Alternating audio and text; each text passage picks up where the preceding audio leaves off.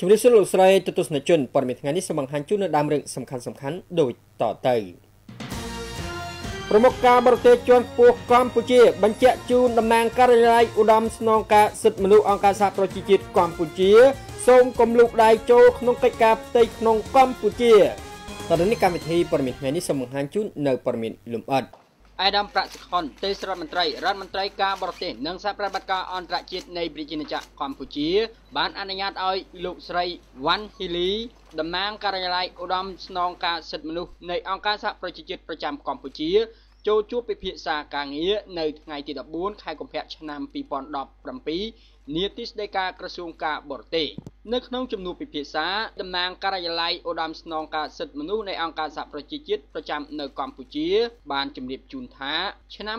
2017នេះគឺជាឆ្នាំនៃការចាប់ផ្ដើមពង្រឹងកិច្ចសហប្រតិបត្តិការឡើងវិញរវាងការិយាល័យឧត្តមស្នងការសិទ្ធិមនុស្សនៃអង្គការសហប្រជាជាតិនិងរាជរដ្ឋាភិបាលជាពិសេសការកសាងជំនឿទុកចិត្តជាមួយគ្នា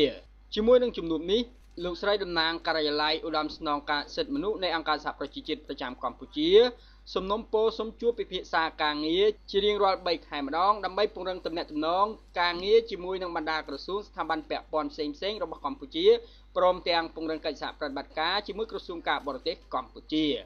ជាកិច្ចឆ្លើយតបអាយដាមប្រាក់សុខុនបានឯកភាពចំពោះសំណើជួបគ្នាជាទៀងទាត់រៀងរាល់3ខែម្ដងនេះដោយឯកឧត្តមបានបញ្ជាក់ថាគោលជំហររបស់ក្រសួងការបរទេសគឺចង់ពង្រឹងកិច្ចសហការជាមួយការិយាល័យឧត្តមស្នងការសិទ្ធិមនុស្សនៃអង្គការសហប្រជាជាតិនិងកសាងនូវជំនឿទុកចិត្តគ្នាទៅវិញទៅមក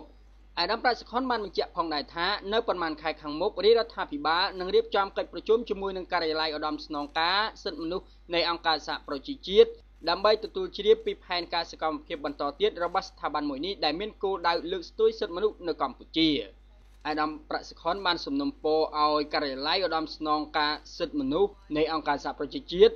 យកចិត្តទុកដាក់ខ្ពស់ចំពោះការគោរពឲ្យបានត្រឹមត្រូវនៅអធិបតេយ្យភាពរបស់កម្ពុជានិងជៀសវាងការជ្រៀតជ្រែកចូលកិច្ចការផ្ទៃក្នុងរបស់កម្ពុជា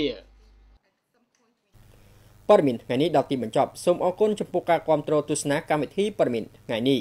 សូមជម្រាបលា